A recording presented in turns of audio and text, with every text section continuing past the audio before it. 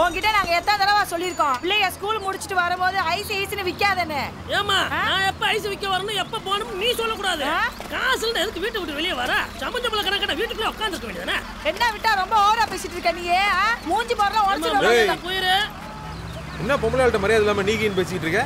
நான் ஒரு business man என்ன வரக்கூடாதுன்னு சொல்றாங்க அக்கா. பிள்ளைங்களுக்கு கைச கொடுறா. அதெல்லாம் ஒண்ணும் வேணாம் ஐயா. ஏன் மதனே? என் அண்ணன் நான் வாங்கி தரக்கூடாதா? நீங்க வாங்கி கொடுக்காம வேற யார் வாங்கி கொடுப்பாங்க குழந்தைனாரே? பொண்ணு தாயி. என்னக்கா? வீட்டை விட்டு அனுப்பிடுவாங்கன்னு பயப்படுறியாக்கம்? அப்படியாவது அனுப்பட்டும். வெளியே போய் மான ரோசத்தோட கஞ்சியை குடிப்போம். இப்படி ஏதாவது நடந்து நமக்கு விடிவு காலம் பிறந்தாதான். நீ பயப்படாதக்கா தைரியமா இரு. வெளியில தான் தாசில்தார் மருமகளுக்குன்னு பேர். வீட்டுக்குள்ள உங்க அண்ணன் நிலைமை உங்க அண்ணன் நிலைமை இதுதான். விட்றா. அதை சரி கட்டு தானே வந்திருக்கோம். பார்த்துக்குவோம். என்ன சின்னையா? அக்காவோட ஃப்ளெக்ஸ் எல்லாம் வந்துருச்சுடா. சீக்கிரமா வாங்க. வைக்கணும்ல? சரி சின்னையா. ஐயோ ஐயோ ஐயோ ஐயோ. இந்த அக்கிரமத்தை வெளியில வந்து பாருடா. என்னம்மா சொல்ற? வெளியில வந்து பாருறாங்கிற. வாடா. கொழுப்படுத்த பையன். வீட்டுக்கு முன்னாடி எம்புட்டு அசிங்கம் பண்ணி வச்சிருக்கா பாரு. ஏய் நல்லா ஏத்தி கட்டுறா உனக்குள்ள எங்க இருந்து பார்த்தாலும் எங்க ஆத்தா தான் தெரியணும் சரிடா. ஏத்தி கட்டிடுவோம் டேய் எவன்டா எங்க ஃப்ளெக்ஸ் எல்லாம் வச்சது? ஆ? நான் தான் வச்சேன். தைரியமான பையன். வீட்டுக்கு முன்னாடி மட்டும் இல்ல உன் வீட்டு மேலேயும் பாரு. எங்க ஆத்தா சும்மா ஜகஜோட்டியா ஜொலிக்கிறா. ஏப்பா ரொம்ப ஏத்தி கட்டிட்டோமோ ஏரோப்ளேன் தட்டாதுல்ல? என்னடா உங்க போட்டோ எல்லாம் இருக்கு? அப்பா எங்களுக்கு தெரியுதுப்பா. அங்க ஒண்ணும் சொல்றா ஏய் என் வீட்டுக்கு முன்னாடி ஃப்ளெக்ஸ் வைக்க யாரா பர்மிஷன் கொடுத்தா? ஓ நைனா வாயில நான் வாழைப்பழமா வச்சிருக்க? எடுத்து சொல்லுவோம் அதிகாரிகிட்ட. சொல்றேன் சொல்றேன். சார் நேத்து நீங்க குடிச்ச பீர் நல்ல கூலிங்கா இருந்துச்சா சார்? ஆமா கொஞ்சம் அளவுக்கு அதிகமாவே இருந்தது. என்ன இப்போ? சார் இந்த பிளக்ஸ் பெர்மிஷனுக்காக அவன் ஓசியில வாங்கி கொடுத்த பிரிட்ஜில் தான் சார் நீங்க குடிச்ச பீரே இருந்துச்சு. ம். காசை நீட்டினா எதுல வேணாலும் கையெழுத்து போடுறது. அப்துல் கலாமுக்கே அரசு வாரண்ட் கொடுத்த ஆளுக்கு தானே நீங்க? வாங்குனது உறுத்துதோ? எல்லாம் சொல்லுமா பள்ளி காலனியில விழுமான் துள்ளி. சார் சொல்ல வடையெல்லாம் ரொம்ப பெர்ஃபெக்டா சொல்றான் சார். இந்த பாரு இன்னைக்கு இல்ல இன்னும் மூணு நாளுக்கு நீயும் உங்க ஆத்தாலும் எங்க ஆத்தால தான் பார்த்து புழுங்கி புழுங்கி சாகணும். உன்னால ஒன்றும் கிழிக்க முடியாது.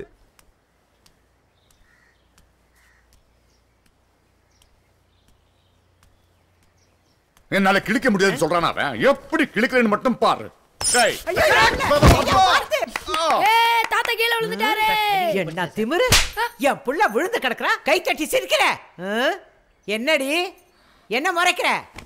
முறைப்பா. ஏன் முறைக்க மாட்டா? இந்த அள்ளிராணி கொண்டு வந்த சீர்சனத்தை வைக்க இடம் இல்லாம வெளியே போட்டு வச்சிருக்கோம்ல அதான் முறைக்கிறா. இந்த தாசில்தார் வீட்டு சோற நாய் தின்னால கொழுப்பு எடுத்து குறைக்கும். இவ தின்னா முறைக்காம இருப்பாளா? உன் வீரத்தை இங்க காட்டாதடா. ஆம்பளை இருந்தா உன் தம்பி கிட்ட போய் காட்டு. ஏண்டா? நடுமந்தில் கழுதையை காட்டி அப்பா வசங்கப்படுத்திவிட்டு இங்க அம்மா வசத்துக்கு கூப்பிட வரியோ? உன்னை அங்கேயே வச்சு வெளுத்து விட்டுருப்பேன். தம்பிங்க போய் நின்றுட்டு இருக்க. இதை பாடுறா நீ அம்மா பிள்ளையாவே இரு. நாங்க அப்பா பிள்ளையாவே இருக்கோம். தயவு செஞ்சு எதுக்கு எங்களை கூப்பிட வரா சாமி? அப்படி வந்தோன்னு வச்சுக்க அந்த ஆளு லூசுத்தனமா சொத்த பூரா அனாதாசமத்தை எழுதி வச்சுட்டு போயிடுவாரு. அப்புறம் நாங்கள் நடு ரோட்டில் நின்று சோத்துக்கு சிங்கி தான் அடிக்கணும். நீ நீயாவே இரு நாங்கள் நாங்களாவே இருக்கோம். என்னண்ணே? இந்த ஒரு தடவைண்ணே நான் சொல்றத கேளுண்ணே. சரிப்பா நீ சொல்றத நாங்க கேட்குறோம் நாங்க சொல்றது நீ கேளு. அம்மா இடத்துக்கு முன்னூறு கையெழுத்து போட்டு அப்பாட்ட கொடுத்துருக்கோம்ல. அதே மாதிரி நீயும் கையெழுத்து போட்டு அப்பாட்ட கொடுத்துரு. நீ சொல்றத செய்யறா முடியாதுல்ல? ம். ஆமா யாரை கேட்டு ஃப்ளெக்ஸில் எங்கே படத்தை போட்ட? படம் போறான் நாம படம். அதனால நாம அசிங்கப்பட கிழிச்சு. வீட்டுக்கு முன்னாடி ஊருக்குள்ள சுத்துறா. இன்னும் பொண்ணுகிட்ட பக்கம் வா. மூஞ்சியை கிழிச்சு.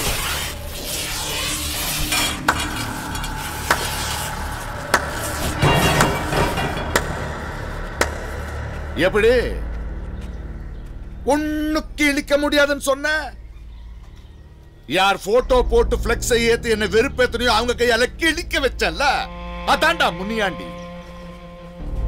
நீ என்ன பெத்திய நான் உன்னை பெத்தனா?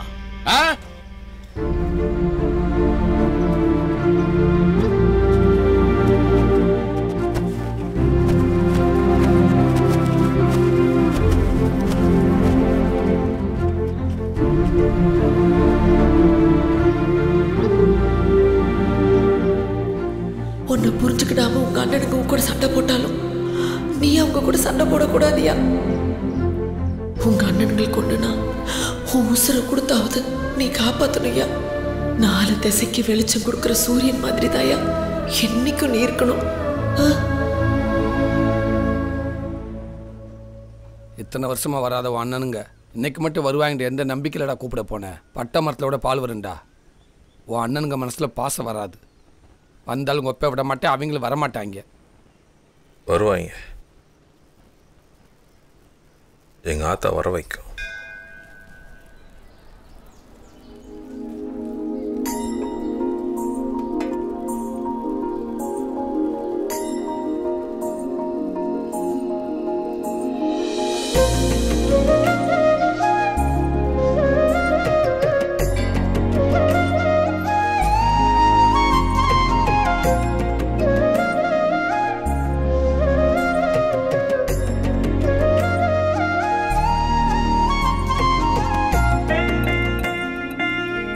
தெய்வமே என் வாழ்க்கையும் நல்லா இருக்கணும் என் அக்கா வாழ்க்கையும் நல்லா இருக்கணும் என் அக்கா வாழ்க்கை நல்லா இருக்க எப்படியாச்சும் என் மாமாக்கு பிஆர்சியில் டிரைவர் வேலை கிடைச்சிட்டா உனக்கு வெள்ளியில கவசம் பண்ணி இல்லங்காம எல்லாத்துக்கும் அன்னதானம் பண்றேன் எப்படியாச்சும் வேலை கிடைச்சிட்டு என்னடி கோயிலுக்கு வெளியே நீ அன்னதானம் பொட்டில் கொடுக்க ஒரு ஏழை பாலை கூட காணும் ஏன் கடைக்காரங்களை கூட காணும் மேல வெடிச்சவளே சரியா பாத்துருக்க மாட்டேன் நீயே யாரு நானா சரியா பார்க்கல நீயே வந்து பாரு தாயி பாரு நல்லா பாரு.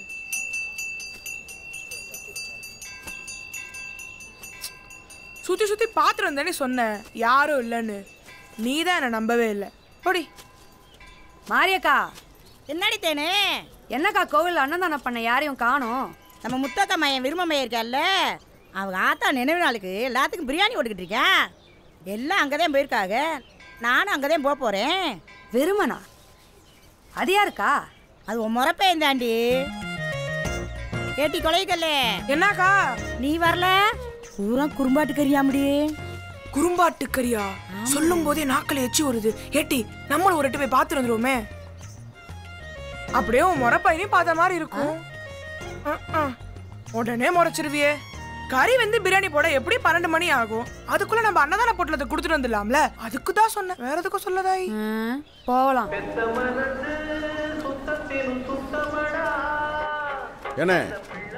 இலைய போட்டாச்சு தண்ணியெல்லாம் ஊற்றியாச்சு பந்தி ஆரம்பிச்சலாம்ல ஆரம்பிச்சலாம்ல ஆரம்பிச்சலாமா என்ன மாப்பிள நல்லா இருக்கீங்களா ஆ, என்ன யாருன்னு தெரியுதா? நம்ம ஊர் கலெக்டரா இல்ல உங்களுக்கு தெரியாதுல்ல உங்க அண்ணன் மூத்த ஊர்க்காரர்ல செல்வம். அவருக்கு என் மூத்த மகளை தான் கட்டி கொடுத்துருக்கு. பாருங்க சொந்த பந்தத்தையே சொல்லித்தான் அறிமுகப்படுத்த வேண்டியிருக்கு. என்னண்ணே பந்தி ஆரம்பிச்சலாமா ஏய், பிரியாணி எடு. ஆமா கறி எடுத்து. என்னத்தா நீயும் வந்துட்டியா? மாப்பிள என் ரெண்டாவது மக பேர் தேனு. வியாபாரம் பார்க்க ஆரம்பிச்சிட்டியா?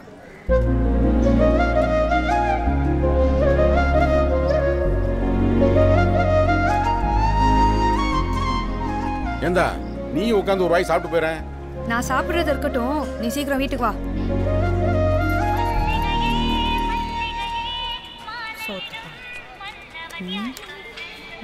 அக்கா சொல்லுக்கா. ஏட்டி தேனு மாமா வீட்ல போட்டது போட்டபடி இருக்குன்னு ஐயோ இதோ வந்துடுறேன்க்கா. நான் இல்லாம போயிட்டேனே. என்னடா செல்வம் கிடைச்ச வாய்ப்பை கோட்டை விட்டிய ஃப்ளக்ஸை கிடைக்கிற மாதிரி அவன் மூஞ்சியும் கிழிச்சிருந்தா அண்ணன் ரொம்ப சந்தோஷப்பட்டிருக்கும்ல. எதையும் சொன்னாதான் செய்வியா? என்னைக்கு சொல்லாம சொந்தமா செஞ்சிருக்கானுங்க? வளர்த்த கிளி மாதிரி சொன்னதை மட்டும் செய்வாங்க. இன்னைக்கு மட்டும் உஞ்ச கிழிச்சுட்டா நான் கிழிக்கிறேன் மாமா. நீங்க ஒன்றும் கவலைப்படாதீங்க. அன்னைக்கு மட்டும் நான் இருந்திருந்தேன். கதையே வேற. இன்னொரு தடவை உங்களை வம்பலுக்கு வரட்டும். அவனை உண்டு இல்லைன்னு பண்றேன். நீங்க காலை நீட்டுங்க மாமா. அவனை நான் பாத்துக்கிறேன். ஆ? என்ன மாமா ரெண்டு நாள் தான் கட்டு போடல இப்படி குதறி போயிருக்கு? ஆ? மாமா வலிக்கும். கொஞ்சம் பொறுத்துக்கோங்க. எங்க என்னடி?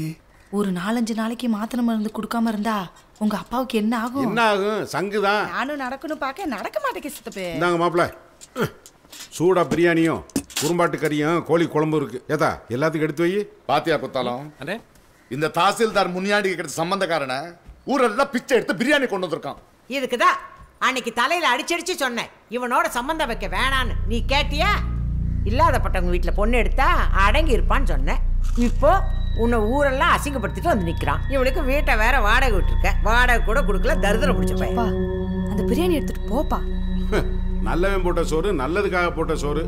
நீங்க எல்லாம் ஒரு வாய் சாப்பிட்டா புண்ணியம் கிடைக்குமேன்னு கொண்டு வந்தேன். இந்த வீட்டில் அவன் நல்லவன் இருக்கான். சரி. எப்பா உங்க ஃபோன் என் ஃபோன் தான் ஏன் நீ சம்பாதிச்சு கொண்டாந்தியாக்கோ? இங்க இருக்கிற அத்தனை பேருடைய ஃபோனு நான் கொடுத்த காசுல வாங்கினதான் எட்ரா ஃபோனு சரிங்க தெருவுல கிடைக்கிற சாணி கூட எருவுக்கு உதவும். ஆனா நீங்க எதுக்கும் உதவ மாட்டீங்க.